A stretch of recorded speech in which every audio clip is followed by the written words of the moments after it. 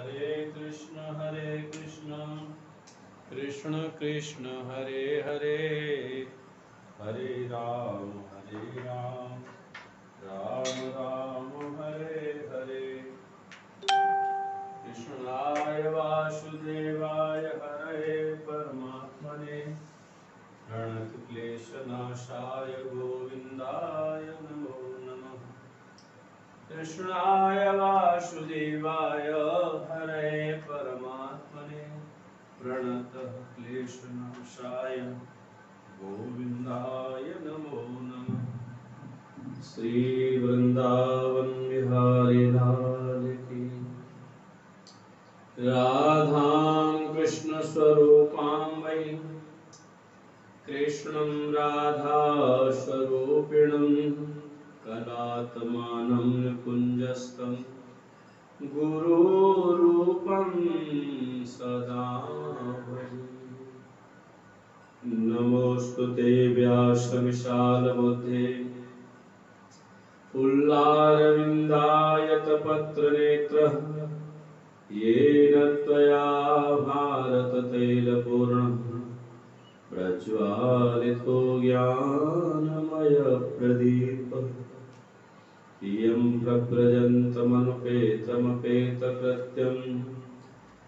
द्वैपायनो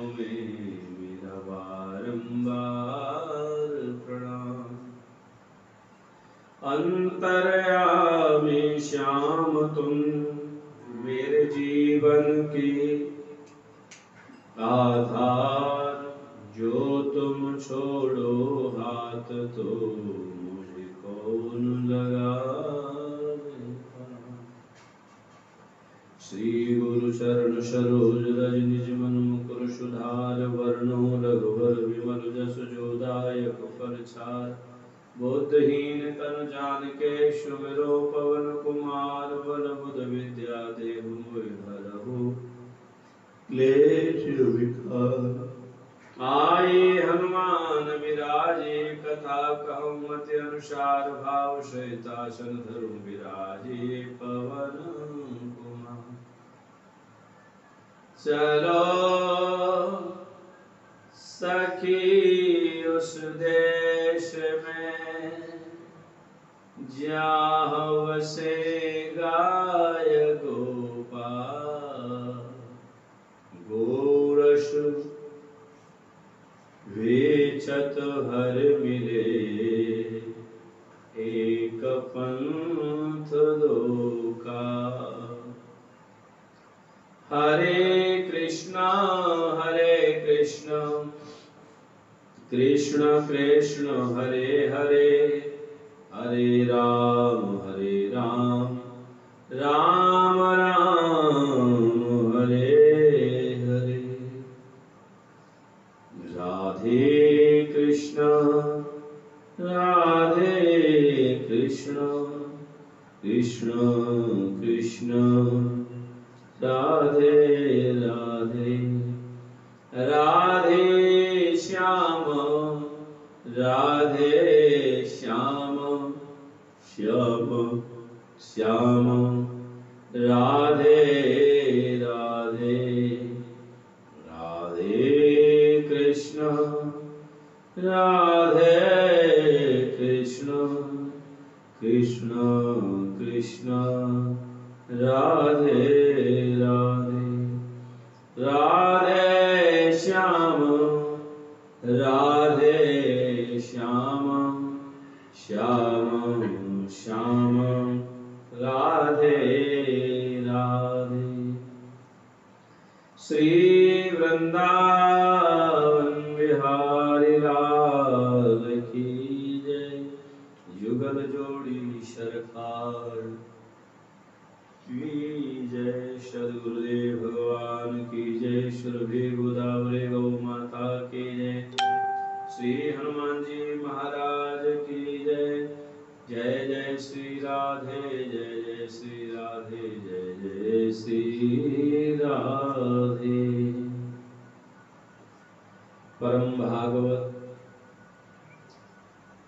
उपासक हरि भक्त श्रोताओं, जैसा आपको पता है, तीन सौ पैंसठ दिवसीय श्रीमद् भागवत, अर्थात वैदिक श्रीमद् भागवत बोध कथा का आयोजन।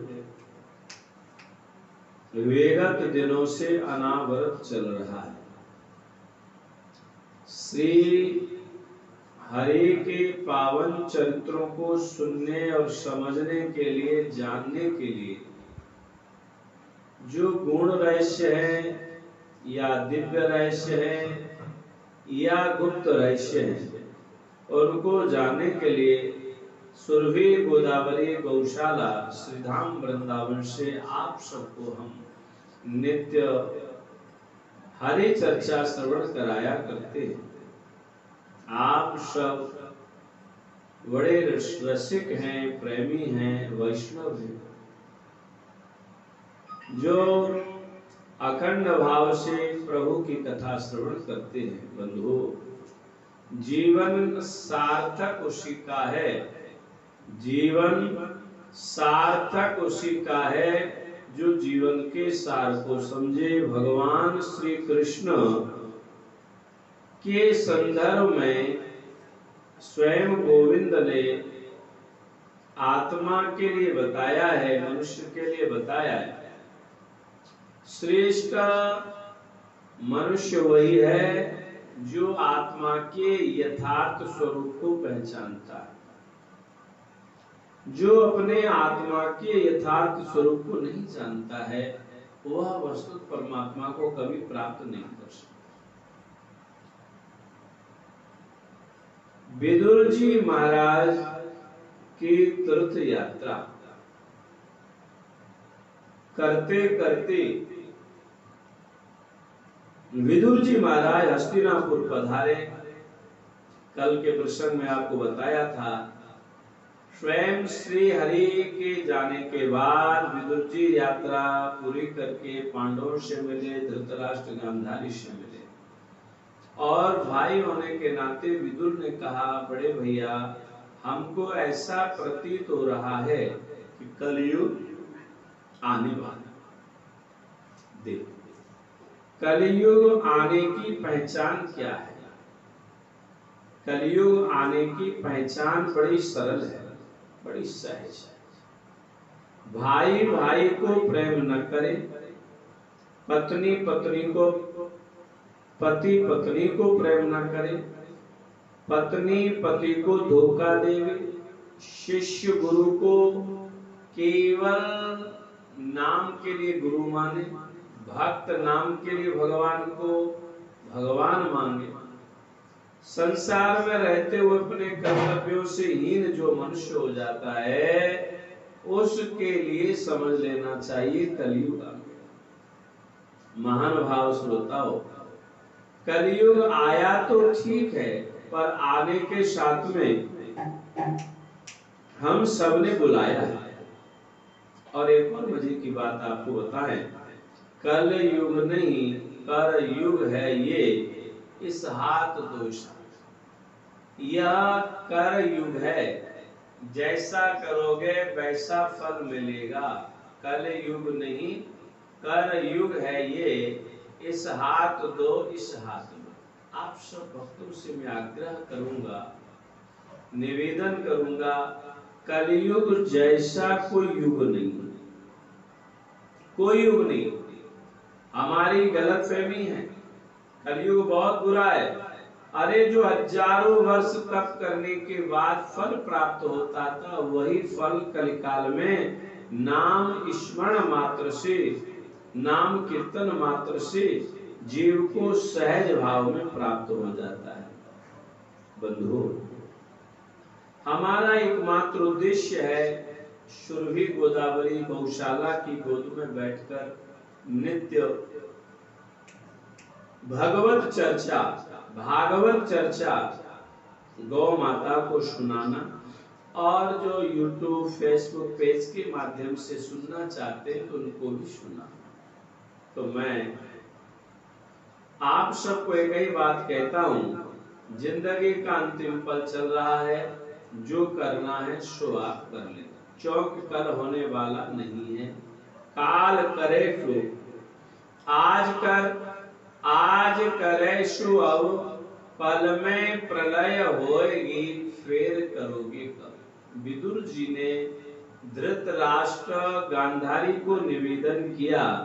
कि हमें लग रहा है अब कलयुग आने वाला है। अतः आप शीघ्रता से यह संसार का सुख छोड़कर वन में भजन विदुर जी ने कहा विदुरस तद विप्रेत्य धृत राष्ट्रम भाषत राजन निर्गम्यताम शीघ्रम पश्चेदम भयमागतम। परंतु विदुर जी ने काल की गति जानकर अपने बड़े भाई धृतराष्ट्र का महाराज, देखिए आओ, बड़ा भयंकर समय आ गया है, झट पर यहाँ से निकल चली भाई का अर्थ है, अपने भाइयों को विपत्ति से हटाकर, विपत्तियों से निकाल करके सुख की ओर पहुँचा। यद्यपि धृतराष्ट्र ने विदुर जी के साथ अच्छा व्यवहार नहीं किया, ये सब यद्यपि विदुर जी के साथ धृतराष्ट्र ने अच्छा व्यवहार नहीं किया था, फिर भी, जरा ध्यान दो भैया, धृतराष्ट्र के साथ विदुर ने अच्छा व्यवहार किया। अपमान के बदले में सम्मान दिए जाओ कोई पत्थर भी मारे, तुम फूल दे कोई पत्थर भी मारे, तुम फूल दे तो झटपट यहाँ से, हम सब लोगों के सिर पर वह सर्व समर्थ काल मडराने लगा है। अतः जिसके टालने का कहीं भी कोई उपाय नहीं, दुनिया वाले। बीमारी का इलाज होता है, मौत का कभी पहले भी इलाज नहीं होता, अब भी इलाज नहीं अतः काल के वशीभूत होकर जीव का अपने प्रियतम प्राणों से भी बात की बात में वियोग हो जाता है, फिर धन, जन आदि दूसरी वस्तुओं को तो पाता ही क्या? आपके चाचा ताऊ भाई, सगे संबंधी, पुत्र सभी मारे गए। आपकी उम्र भी ढल चुकी है, शरीर बुढ़ापे का शिकार हो गया है। आप पराए घर में पड़े हैं ओ हो। हो इस प्राणी को जीवित रहने की कितनी प्रबल इच्छा होती है। देखो, संसार में हम सब कितने भी दुख सहले, फिर भी मरने की चाहत नहीं होती। सबको जीने की चाहते हैं। यही धृतराष्ट्र का स्वरूप है। अतः हम सब जानते हुए, समझते हुए आँखें बंद कर रहे हैं। यह सबको पता है।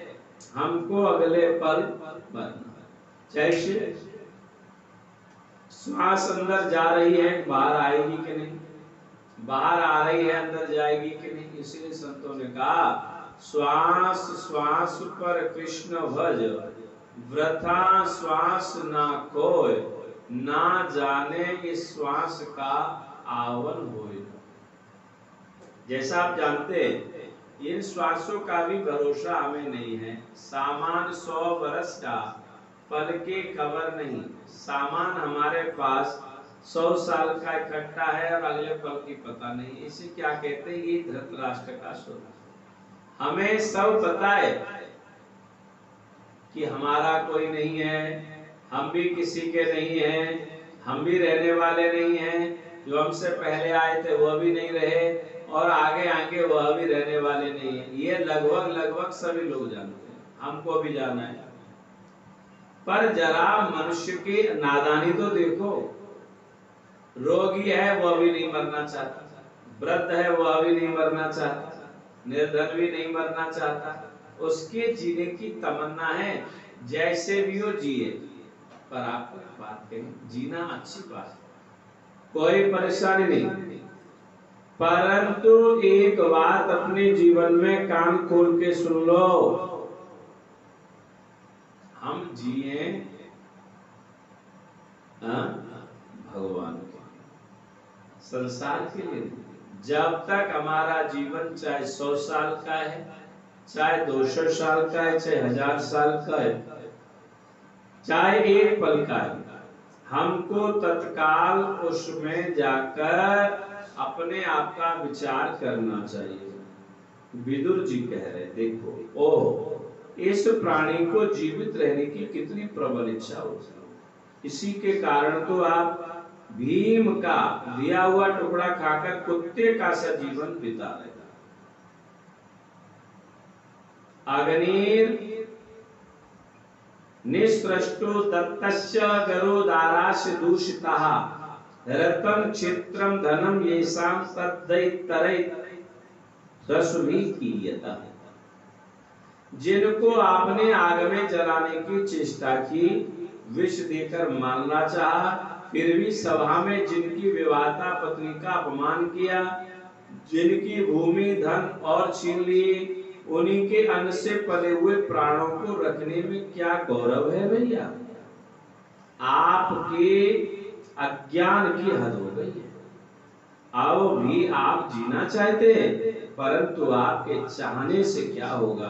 पुराने वस्त्र की तरह बुढ़ापे से गला हुआ आपका शरीर आपके न चाहने पर भी खील हुआ जा बंधु हमारा ये शरीर न चाहते हुए भी बुढ़ापे की ओर जाता है।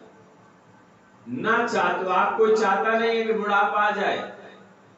पता लगा बाल थोड़े सफ़ेद हुए, डाई शुरू हो जाता है।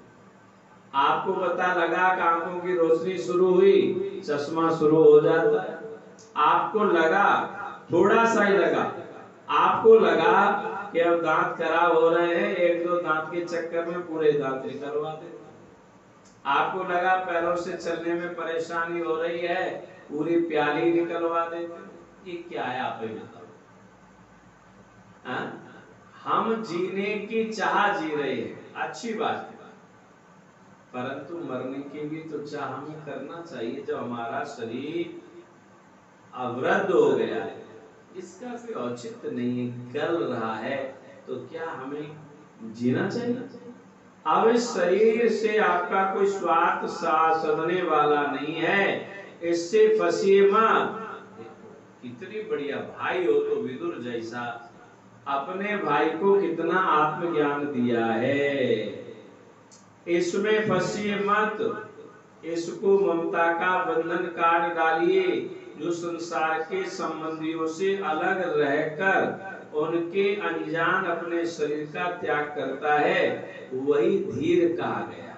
चाहे अपनी समझ से हो या दूसरे के समझाने से, जो इस संसार को दुख रूप समझकर इसमें विरक्त हो जाता है और अपने अंतकरण को वश में करने के, करके हृदय में भगवान को धारण सन्यास के लिए घर से निकल पड़ता है, वही उत्तम मनुष्य है। इसके आगे जो भी समय आने वाला है, वह प्राय मनुष्य के लिए गुणों को घटाने वाला होगा। इसीलिए आप भैया, अपने कुटुंबियों से छिपकर उत्तराखंड चले जाइए। कहा भेज रहे? उत्तराखंड। अर्थात हिमालय की कंदरा में। और जब छोटे भाई विदुर ने अंधे राजा धृतराष्ट्र को इस प्रकार समझाया, तब उनकी प्रज्ञा के नेत्र खुल गए। याद रखो, जिन संसार से हम प्रेम करते हैं या हम उनको प्रेम करते हैं, जिन्हें हम प्रेम करते हैं, जब उनकी लात लगती है, उनकी वाणी की चोट लगती है तो परिवर्तन होता है। उदाहरण के तौर विदुर जी को जब दुर्योधन का वाणी का चोट लगा तो वह बन चले गए। विभीषण को रावण की लात लगा तो राम के दल में आ गए। आ गए? क्यों आ गए? इसीलिए। इसीलिए आ गए। ध्रुव जी को विमाता का वचन लगा तो वन में आ गए। संसार का प्यार हमें भगवान से दूर करता है। संसार का अपमान हमें भगवान की ओर ले जाता है। आज हमें संसार का मिला जुला अपमान और सम्मान मिलता है, जिसके कारण हम वो दोनों ही अवस्थाओं में छोड़ना नहीं चाहते। मैं आपसे एक ही बात कहूँगा कि यह संसार है। तुम समय रहते छोड़ दोगे तो अच्छा है, नहीं तो दुनिया के लोग छीन लेंगे। विदुर जी ने धृतराष्ट्र को समझाया भाई बंधु के सुदृढ़ स्नेह पाशों को काटकर अपने छोटे भाई विदुर के दिखलाए हुए मार्ग से निकल पड़े। जब परम पतिव्रता सुवल नंदनी गांधारी ने देखा कि मेरे पति देव तो उस हिमालय की यात्रा पर जा रहे हैं, जो सन्यासियों को वैसा ही सुख देता है, जैसा वीर पुरुषों लड़ाई के मैदान में अपने शत्रु के द्वारा किए हुए न्यायोचित प्रहार से होता है। तब वे भी उनके पीछे पीछे चल हमारे देश में जो परंपरा रही है, अगर पुरुष जिस मार्ग पर चलता था तो गृहिणी उसके पीछे चलती थी। पर आज क्या है? गृहिणी पति के पीछे नहीं चलती है, उसका मार्ग अलग ही होता है। मैं देश की समस्त गृहिणियों को, पतिव्रताओं को, विवाहित माताओं, बहनों को कहूँगा कि पति जिस मार्ग पर चले, उसी मार्ग पर पत्नी को जाना चाहिए। जैसे धृतराष्ट्र के जाने पर गांधारी ने भी संसार के सुखों का त्याग करके पति के पीछे अनुगमन यहाँ तक बात आपको समझ में आ गई हो पर आज क्या है? कोई जाए भाड़ में, हमें क्यों जाना है? नहीं। यह स्त्री का परम धर्म है। पति के पीछे सदैव अनुसरण करे। अजात शत्रु युधिष्ठिर ने प्रातः काल संध्या बंधन तथा अग्निहोत्र करके ब्राह्मणों को नमस्कार किया और उनके लिए तेल, गौ, भूमि, सुवर्ण का दान दिया। देखो युधिष्ठिर कैसे हैं? जो नित्य सुवर्ण भी देते हैं भूमि भी देते हैं तिल भी देते हैं और भूमि भी, भी देते हैं। आपको एक बात बता परमात्मा ने जिनको जो कुछ दिया है वह रखने के लिए नहीं दान करने को दिया है। यथा उचित प्रत्येक प्राणी को नित्य दान करना चाहिए। युधिष्ठिर जी कह रहे चाहे भूमि दान है, चाहे अन्न दान है, चाहे सोना दान है, चाहे विद्या दान है, चाहे जल दान है, चाहे भोजन दान है, यह दान प्रत्येक मनुष्य को नित्य प्रति करना चाहिए। आज क्या है? और हमारी तो अम्मा करती है, हमारी तो दद्दू करते मैं आपसे गुजारिश करूँ। अम्मा का या दद्दू का? खाया हुआ हमारे पेट में आएगा ऐसे ही क्या पुण्य उनका किया हुआ हमारे लिए आएगा? नहीं। परंतु देखो यही है भोजन शायद एक दूसरे के पेट में न जावे, परंतु जो धन है और आशीर्वाद है, वह प्राप्त हो जाता है। भैया, दान दिया इसके बाद जब वे गुरुजनों के चरण वंदना के लिए राजमहल में गए, तब उन्हें धृत राष्ट्र विदुर तथा गांधारी के दर्शन नहीं हुए। युधिष्ठिर उद्विग्न चित्त होकर वहीं बैठे हुए संजय से पूछा, संजय, मेरे वे वृद्ध और नेत्री पिता धृतराष्ट्र कहाँ हैं? परम हितैषी चाचा विदुर कहाँ चले गए? ताऊ जी अपने पुत्रों और बंधुओं के मारे जाने से दुखी थे। मैं बड़ा मंद बुद्धि हूँ। कहीं मुझसे किसी अपराध की आशंका करके वे माता गांधारी सहित गंगा जी में तो नहीं डूबे। पुत्र हो, संबंधी हो तो युधिष्ठिर जैसा। जैसा उनको पता है कि धृतराष्ट्र ने और दुर्योधन ने उनके साथ न्याय नहीं किया, फिर भी वह उन बुज़ुर्गों के लिए अच्छा सोच रहे। प्रत्येक संबंधी के लिए, अपने से बड़े जो संबंधी है, उनके लिए प्रत्येक व्यक्ति को अच्छा ही सोचना चाहिए। पितरियो परते पांडव सर्वान यशनत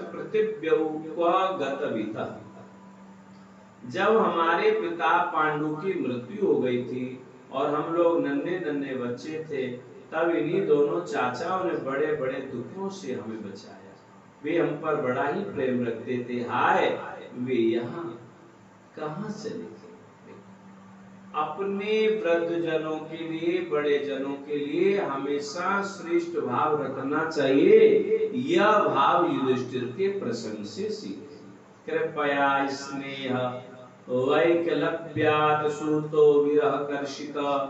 आत्मेश्वरम चक्षाणो न प्रत्याहात पीड़ित।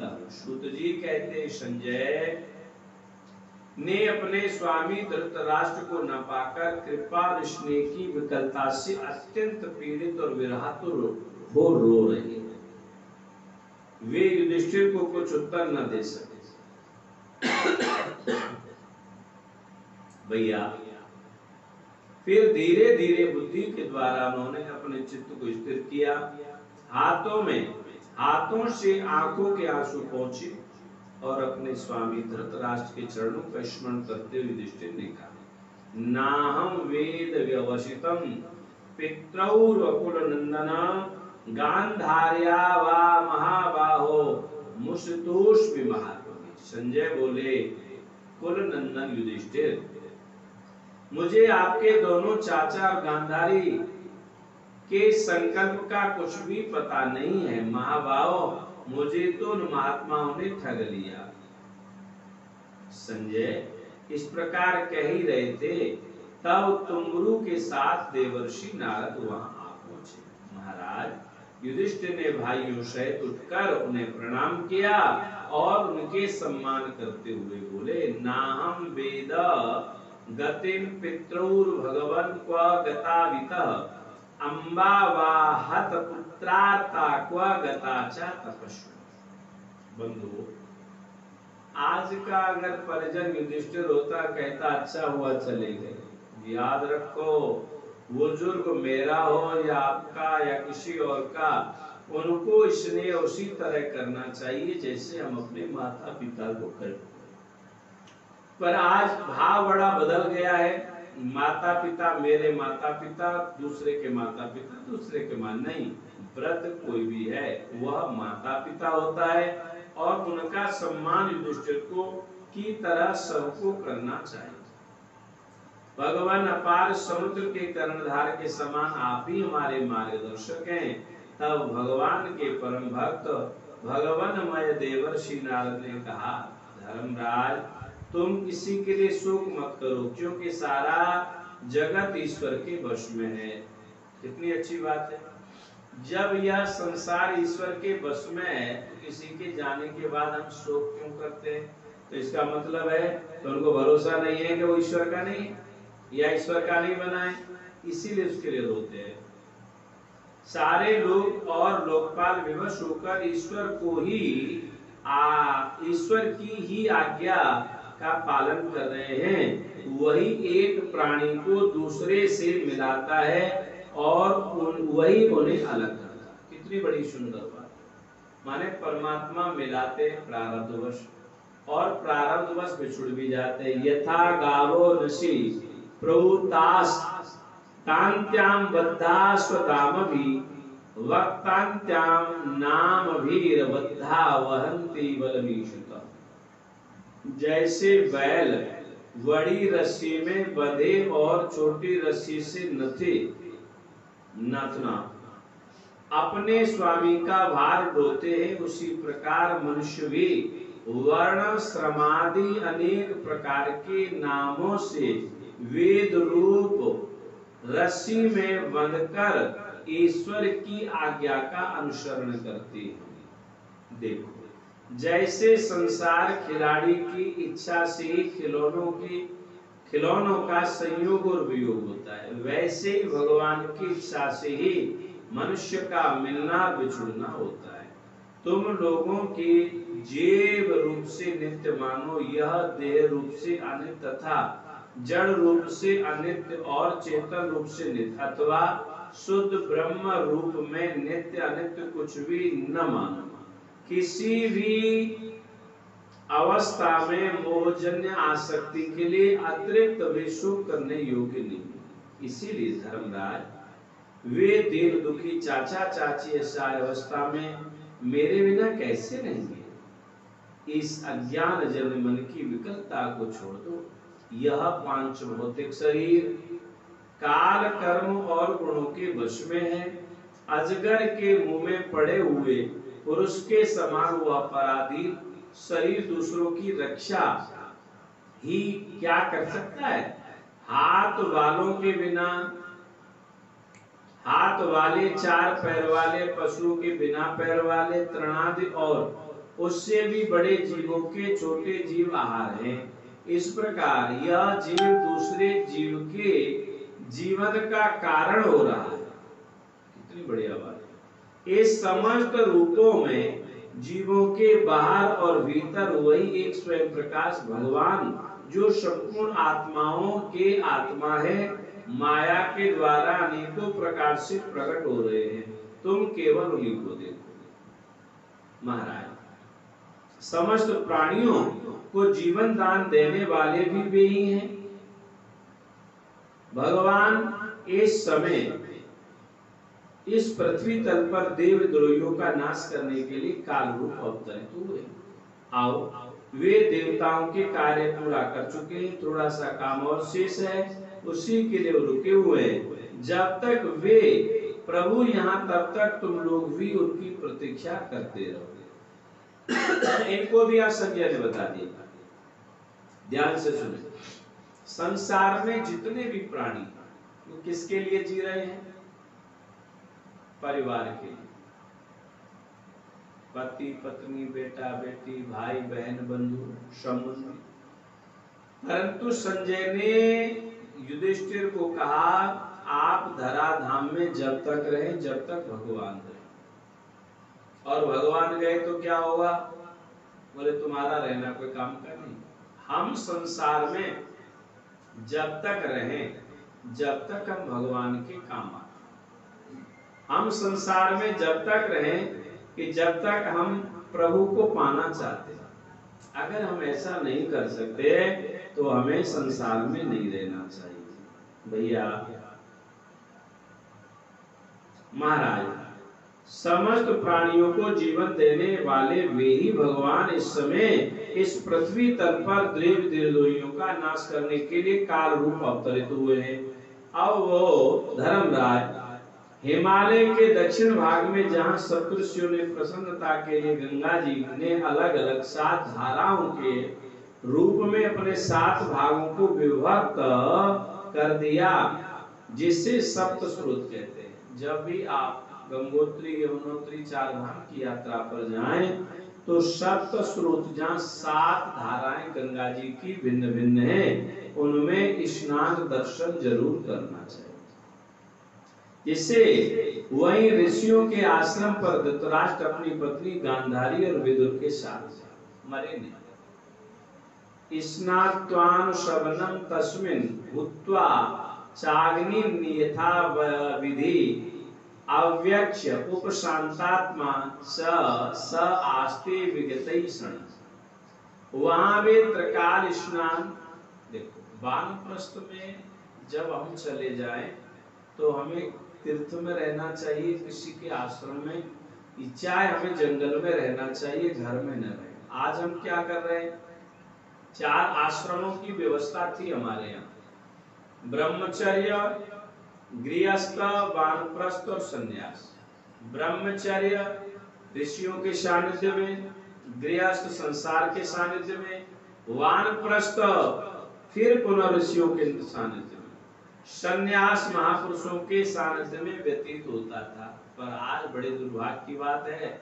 आज हम सब लोग का समय गृहस्थ आश्रम में व्यतीत हो रहा है। माने जैसे थोड़ा गंदा होता है, साफ़ भी नहीं करते, फिर गंदा कर लेते हैं। तो मैं आप सबको एक ही निवेदन करूँगा जिता सरो जित श्वास प्रत्याहरत सडिंद्रिय हरि भावनया ध्वस्त रज सत्वतमो सत्वत सत्वत तमोमल आसन।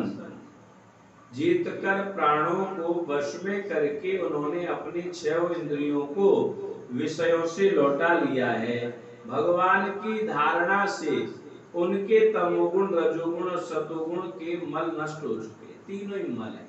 जैसा भागवत विज्ञान आत्म संयोज संयोज क्षेत्र के प्रविलाप्यतम ब्रह्मण्यात्मा नमाधारे पटाम्बा, पटाम्बर, विवाम्बर। उन्होंने अहंकार को बुद्धि के साथ जोड़कर और उसे क्षेत्र के आत्मा में लीन करके उसे भी महाकाश में घटाकाश के समान सर्वाधिष्ठान ब्रह्म में एक कर दिया।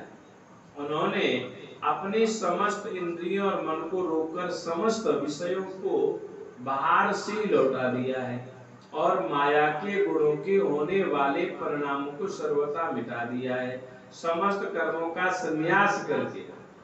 संन्यास क्या है? समस्त कर्मों का संन्यास करके वे समय ठूंठ की तरह स्थिर होकर बैठे हुए हैं।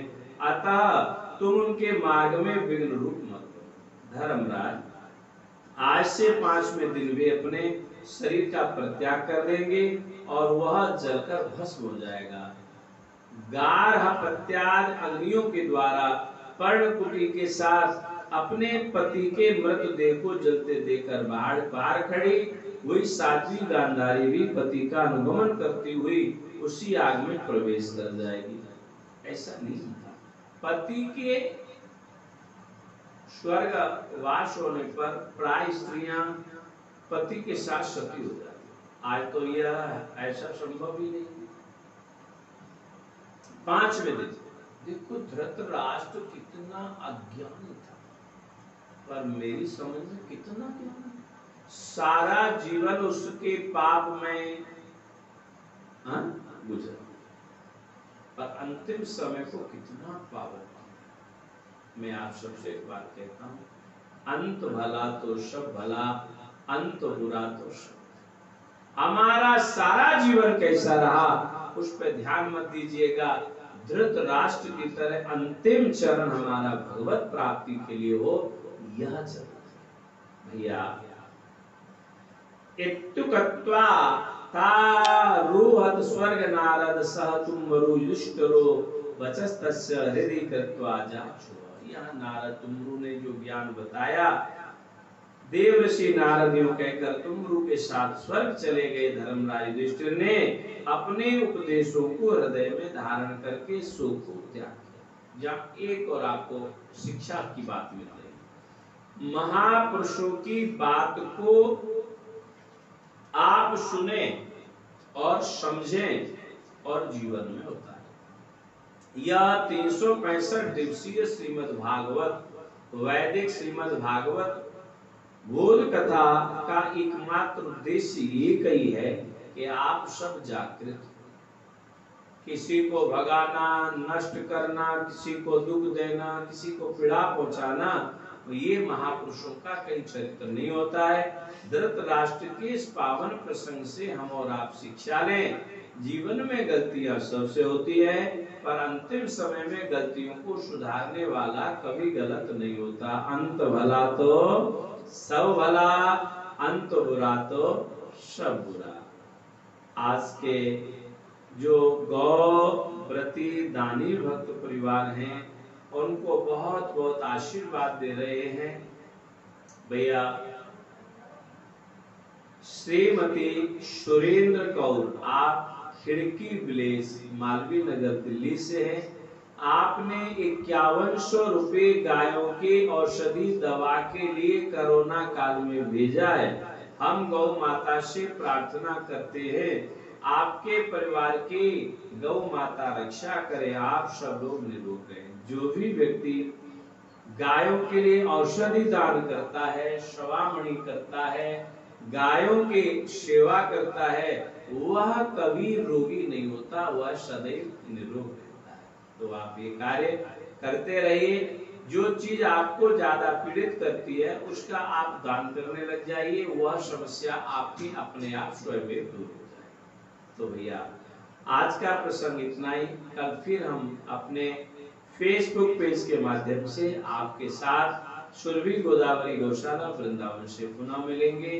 आप सब खुश रहे, प्रसन्न रहे। गौ माता आपकी, आपके परिवार की, अपनों की रक्षा करे। जय सुरभि गोदावरी गौ माता। हरे कृष्ण हरे कृष्ण। कृष्ण कृष्ण, हरे हरे। हरे राम हरे राम राम राम। हरे हरे। कृष्णाय वासुदेवाय। हरे परमात्मने। प्रणत क्लेश नाशाय। गोविंदाय नमो श्री राधे गोपाल। भज मन श्री राधे। श्री राधे गोपाल, भज मन। श्री राधे श्री राधे बोलो श्याम राधे। श्री राधे बोलो श्याम राधे। श्री राधे गोपाल। भज मन श्री राधे श्री वृंदावन बिहार।